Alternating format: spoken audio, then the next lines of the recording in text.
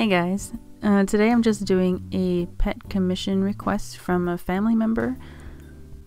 And she had a very specific viewpoint of seeing her um, cat through the trees. And I know that your eyes perceive things in ways that you can't do in a two dimensional format. But I figured that this would be a really good opportunity to use paper tole to artificially create depth. And I was hesitant to start this because I wasn't sure exactly how I was going to pull it off. And so I decided to do a sketch in my sketchbook to get the composition in what I thought that maybe she was imagining. And then planning out all the different pieces that were going to be layered. I wanted this to be extra layered with three levels instead of my usual two. And so the bits on the forefront I did in yellow, and then middle ground in red, and then background in blue. So this was going to be pretty much three sheets of paper that I was going to cut layers out from and then stack them. But I think it all worked out in the end, as you will see. So if anyone's been watching the vlogs, I feel like there is a vast difference between last week's vlog and this week's vlog. Where last week's vlog, I was doing a whole lot of work and not actually um, receiving anything from it. And then this week's vlog, I became intensely mired in a, a bunch of opportunities and filling my whole day with tasks that I, I really didn't think that I could fill entire days. And I still am not actually getting things done as quickly as I'd like. I'm like just suddenly so busy. I'm sure everyone's kind of wondering how the flea market went since my vlogging weeks end on Saturdays and the flea market was on Sunday. Short story is the flea market didn't go well at all.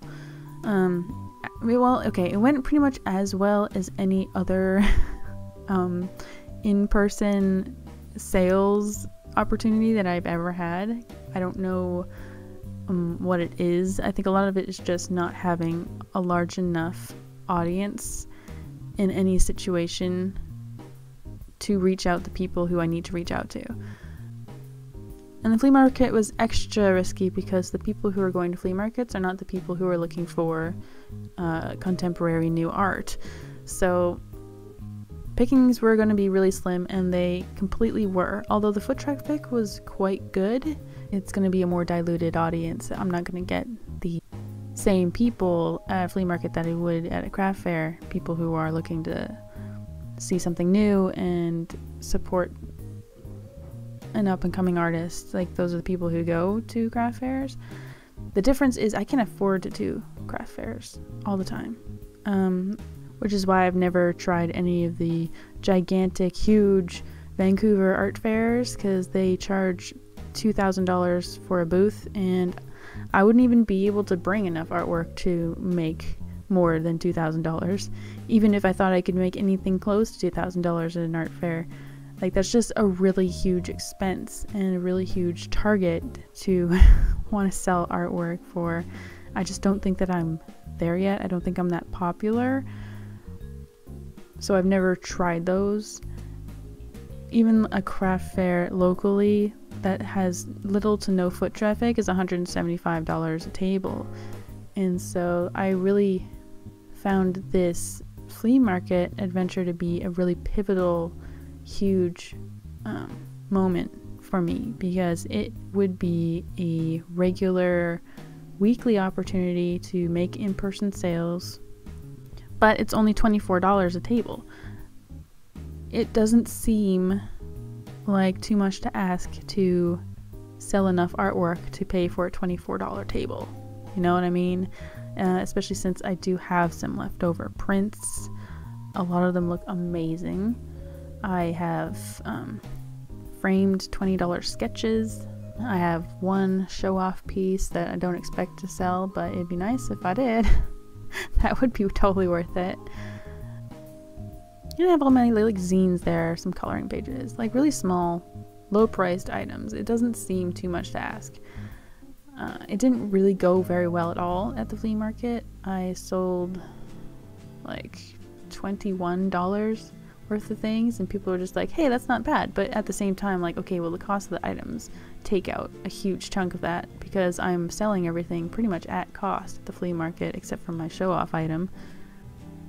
So and that's not even counting the you know eight hours or so eight or nine hours of work being there which is work and you want to get paid for that because you could be using that time to be making something else and honestly, I kind of did. I worked in my sketchbook for a lot of the time. So that was good, but but yeah, so it went really really bad. But at the same time, it's it's a $24 table, and I feel like I could lighten my load a bit to make it easier to carry the things. And I found a bus route. It's a lot longer to get there. And it requires shuffling from one bus to the other which I wasn't originally willing to do but it would save me $30 so I'm gonna try again.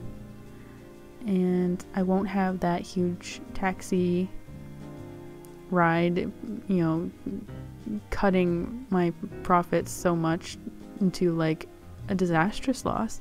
So maybe next time it will just be like a $5 loss a $10 loss but through that I might gain a following, I might attract more of a different audience to the flea market. Maybe the people who went there and saw me will bring new people who might actually be interested, or I will learn from people what kinds of things would actually sell more because there were people who were asking for certain items that I didn't have, right? I just can't cope with the idea of giving up on this because I don't have another idea of how to do in person sales. Because the online stuff doesn't really work. It doesn't work. And this last week, I've seen the hustle that people are talking about when you're an artist full time and just watching my days get filled up with an impossible number of tasks that I need or want to do and last week was pretty intense. This week is significantly less intense because um, I'm not, you know, doing so many drop offs, setups, meetups. Um, I'm, I'm having more of a chill week because I wanted to focus more on making a YouTube video. And that's what's going on. And I really wanted to do this commission finally because it's been on my list for a long time but also um, it's pet sketching month on Patreon. We are doing pets. Um, I'm hoping to do a lot of exotic pets, especially to branch out a little more. I, I don't get to do a whole lot of dogs, for example. And I'm thinking of doing uh, like a free pet sketch day on uh, like Twitter or something like that, as a, maybe a Twitch stream. I'm thinking of doing something like that in October. I haven't quite hashed out the details. So if you're not uh, following me on Twitter, you might want to do that, especially since sometimes I might post updates on there about videos if something isn't happening or late. That's usually where I would go. Otherwise, if you really want to see me draw a picture of your pet, come follow us on Patreon.